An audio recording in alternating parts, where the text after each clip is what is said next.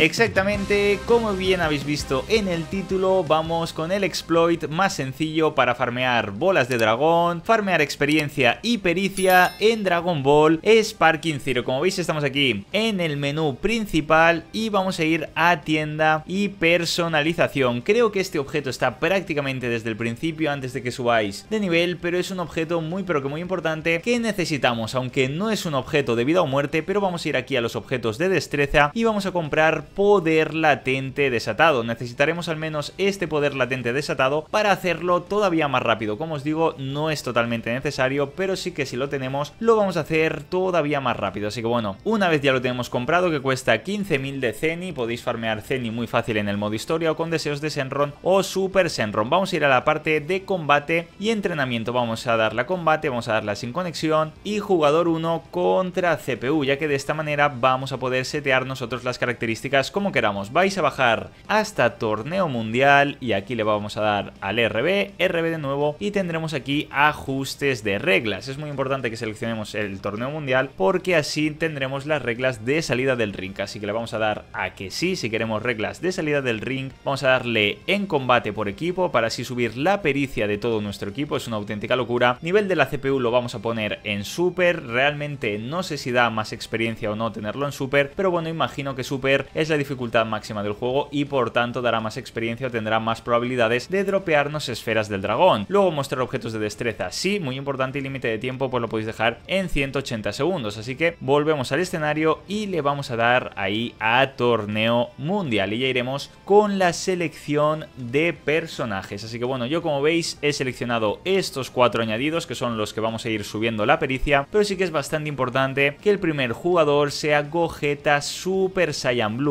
¿Se puede hacer con otros jugadores? Sí, pero la manera más rápida de hacerlo de momento es con Gogeta Super Saiyan Blue. Si sabéis de otros personajes que también se lo hacen súper rápido, la mayoría imagino que se lo harán súper rápido con esta estrategia, pero con Gogeta Super Saiyan Blue es todavía más rápido, es que es instantáneo, empiezas el combate y ya lo has ganado. Así que bueno, una vez lo tenemos aquí, que creo que se desbloquea prácticamente ya una vez tenemos el juego, ¿vale? Así que simplemente lo tendréis en el juego base. Si me equivoco, corregidme en la caja de comentarios. Le damos al Start y aquí tendremos en personalizar objetos de destreza. Pues bueno, para que veáis los que yo llevo, yo llevo impacto todopoderoso, poder latente desatado, mejora de ataque de ráfaga 1 y mejora de ataque de ráfaga aquí. Así que bueno, sí que os recomiendo que tengáis carga de ráfaga aquí porque va a reducir un poco el tiempo de carga de las ráfagas aquí de golpe. Así que os recomiendo que tengáis este. También si recomendáis otros objetos, dejádmelo en la caja de comentarios, pero así es como lo estoy haciendo yo súper, súper rápido. Como veis, tenemos el poder latente desatado que hemos comprado en la tienda, si tenéis el 2 o el 3, pues también los podéis comprar por si acaso pues no sale tan rápido como a mí. Así que bueno, le vamos a dar atrás, ya tenemos estos objetos equipados, ahí perfecto, ya estamos aquí en la selección de personajes y luego pues una vez seleccionemos a Gogeta Super Saiyan Blue, que ya lo tenemos pues todo seleccionado, ahí está, pues tendremos que elegir a los demás personajes a los que queramos subir la pericia. Yo por ejemplo he seleccionado estos, pero vosotros pues yo que sé, podéis seleccionar los que queráis, ¿vale? Los que queráis ir subiendo de nivel la pericia. Aquí le vamos a dar al RB, ¿vale? Para cambiar el equipo y en el equipo del rival, el de la CPU, vamos a elegir a Mr. Satan, está por aquí en medio al lado de, los bus, ¿vale? Como veis aquí tenemos toda la línea de los bus, pues aquí tenemos a Mr. Satan, lo elegimos porque es un personaje que no vuela, así que bueno, una vez ya tenemos esto, ya lo tenemos todo preparado, simplemente le vamos a dar a la X a empezar combate y vais a ver que es prácticamente win instantánea, así que es cierto que al estar en la dificultad super, alguna vez que otra lo puede esquivar, incluso podríais llegar a perder un personaje, pero ya os digo que igualmente es súper sencillo ganar. Así que bueno, simplemente omitimos con el start y automáticamente RT cuadrado, ¿vale? O R2 cuadrado, lanzamos la bola y ya hemos ganado. Como veis es muy pero que muy sencillito, en Xbox sería RTX y ahí nos dan pues un montón de pericia de todos los personajes, nos dan experiencia, nos dan Zeni y tenemos la probabilidad de que nos dropeen bolas de dragón, ¿vale? Así que de esta manera podéis farmear también bolas de dragón, yo antes he conseguido una y simplemente es darle a reintentar y hacer esto todo el rato. Como veis, es un exploit súper, súper sencillito. Vamos a omitir.